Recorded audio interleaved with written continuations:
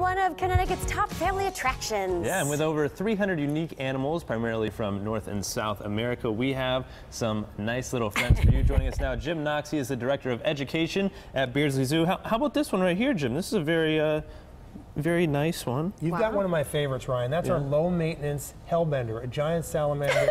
A hellbender. yes, yes. That's an oxymoron, isn't it? Yes. Okay. So just peaceful, hang it, just yeah. not- Peaceful, really almost moving. as if it were a piece of plastic. Yeah. Go oh. figure. Oh, it's, it's not real.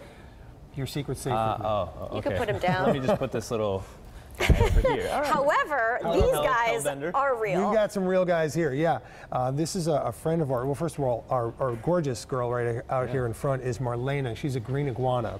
Showstopper. And uh, Wow. she is a showstopper, I agree. Now, um, don't make great pets for most people, for 99.9% of the people, but she's one of our ambassador animals, and we're very pleased to have her here.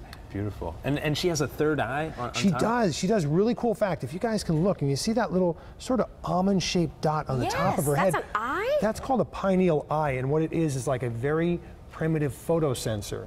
So if a bird of prey or is overhead Mm-hmm. or an ocelot is sinking above her in the canopy of the trees, she may dive up to 60 feet into a rainforest river and escape that way. Oh okay, what does she eat? She, uh, when she's little, when the iguanas are little, they're eating mostly insects and bird eggs and any, any meat they can find, but they switch over to an omnivorous diet. When they get older, a lot of flower blossoms, a lot of fruit, so mostly herbivores when they So get older. beautiful. Got it. Yeah, yeah. And This one seems to be cuddling with Okay, you. well, this guy- I is think that he a likes skink? you. Yeah, he, this is a blue tongue skink. Good job, ah, Ryan. Yeah. skink. Those You good old blue skinks, tongue huh? skinks. I'm very well versed when it comes to skinks. So I don't want him to crawl on, our, Yeah, on his yeah, don't on get too friendly. classmate Here, come over with the hellbender. Here, come on over here. Yeah, yeah, yeah. So anyway, the reason Yeah. I'm putting our friend Winston down is because when I do, he's going to be scenting the air. When he does that, he's flicking his bright blue tongue out, and that's how he gets his name. Look at that blue tongue. Huh? Wow.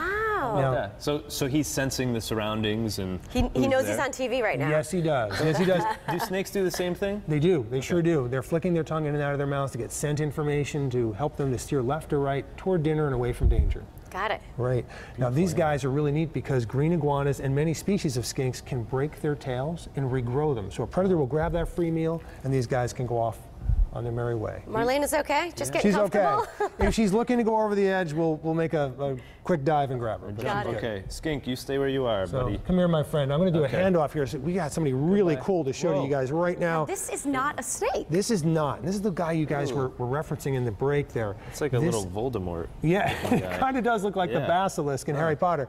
This is uh, good. Good reference. This this one here is a legless lizard, a Eurasian legless lizard. Very primitive lizard. Looks like a snake, but if you look carefully, guys, you're going to see the little ear openings here. Yes. Yeah. And and this animal can blink, and if it can blink, it is not a snake. It is a lizard.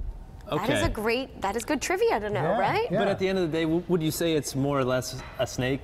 I would mean- say that has a snake body form, but let me show you a little difference here. Okay. But really not, right?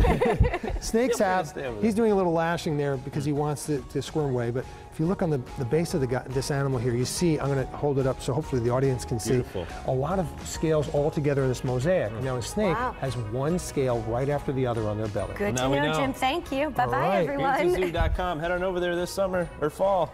Can't think.